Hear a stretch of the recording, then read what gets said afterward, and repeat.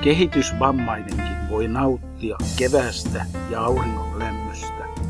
Hänkin voi pitää lintujen laulusta, vapautuvista merenlahdista.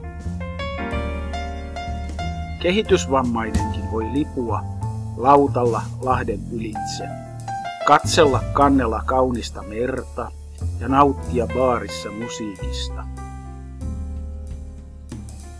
Kehitysvammainenkin voi tykätä museoista, palatseista, patsaista, puistoista ja riemukaarista. Hänkin osaa juoda kahvia kuppilassa. Kehitysvammainenkin voi haluta tutustua uusiin ihmisiin. Hänkin osaa hurmata ja viihdyttää muita. Hänkin voi haluta löytää kumppani. Kehitysvammainenkin voi kävellä kotikaupunkinsa kaduilla. Hän kohtaa kaupungilla vain harvoin toisia kehitysvammaisia ihmisiä.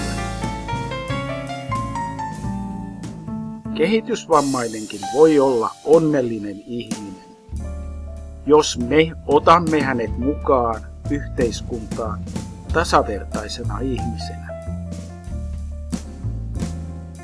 Jokainen mitätöity, unohdettu ja yksin jätetty ihminen on onneton ihminen.